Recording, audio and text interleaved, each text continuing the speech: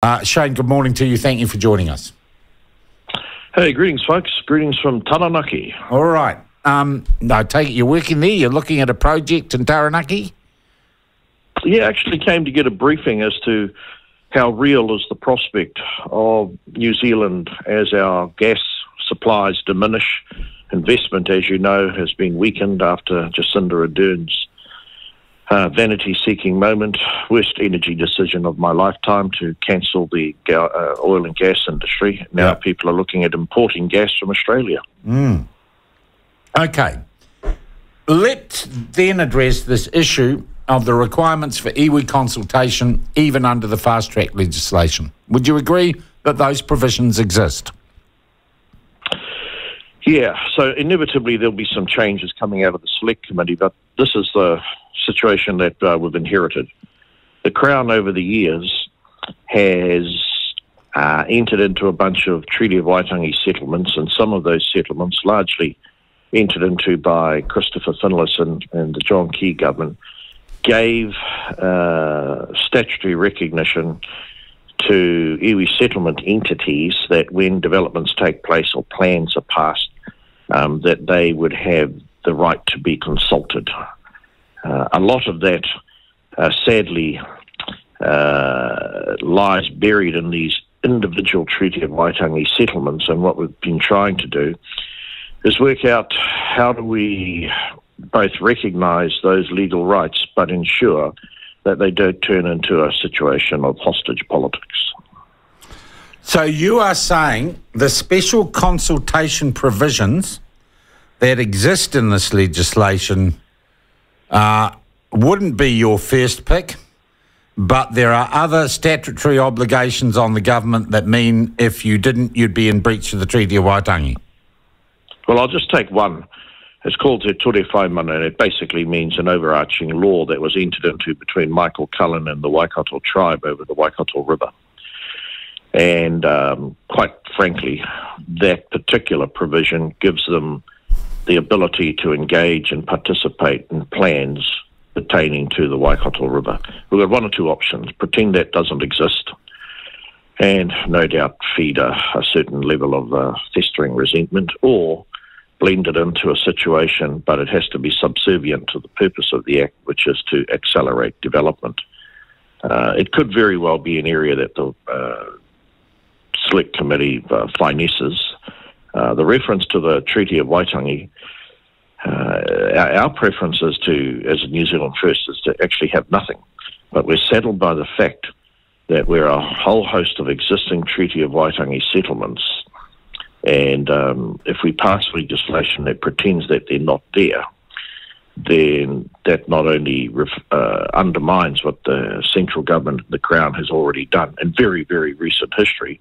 So it's a matter of uh, how to blend it in, but to ensure that it Okay. doesn't Well, why an not? opportunity to constipate. Yeah, uh, okay. Uh, and look, I, I understand your your explanation. It makes perfect sense in the context of, of what has been going on in this country for two or three decades, Shane. Um, and I guess this, interestingly, in context, also explains why ACT um, are so keen to have this treaty principles debate. Um, why not rip the scab off, though, Shane? Why not say, let's deal with all these strange obligations that have been created with Waitangi settlement rulings or, or, or decisions? Let's unpick. I mean, would you agree in fundamental terms that the special provisions that are currently in the fast track bill give one group of New Zealanders more right to be involved in this process than others? And it's based on their race. Yes, so uh, the other group that are demanding their rights be respected, which were included by David, uh, not David Parker and his fast track uh, half pie legislation, were the Green groups. They have statutory authority. And uh, we've kept them out of it. And what we've So why can't you keep included- iwi out of it too? Yeah, because Because you say you've got obligations You're pushing on an open door with me, but the last time I checked, the Crown hadn't signed a full and final settlement with Greenpeace. and you know, we, we've got one or two ways to go here. You, you, you can Yeah, either. but I don't want you to deflect, Shane Jones. either we're going to address this issue at some stage in a wider context or we're not. And every time you pass a piece of legislation that further enshrines what many New Zealanders see as racist and ethno state tending policies, uh, you perpetuate the problem. Yeah, so with the with the fast track legislation, we've inordinately reduced, substantially reduced all the detritus that uh, exists, and now we're down to the bare bones of it. What does a government do with the existence of these historic settlements that give a right to be consulted and engaged on planning? What, are we, what are we to do? Sure, we can annihilate them and destroy them and pretend that the last 25 years of those settlements doesn't exist. But what was the point of entering into them? By the, by the way, largely carried out by right wing governments. What was the point of entering into them if we weren't, over time, going to respect them or acknowledge them? Geez, that is quite a fundamental question. And that seems to me to be at the very heart of the debate this country is having now, whether Paddy Gower likes it or not, about these issues. I think what you're really saying is okay, can we draw the curtain down um, on this epoch of our history and can you reduce the influence of those groups to weaponize those settlements and stop development unless they uh, receive some sort of payment to allow the development. Yeah, and, and let, us be honest. Uh, let's be honest, Shane.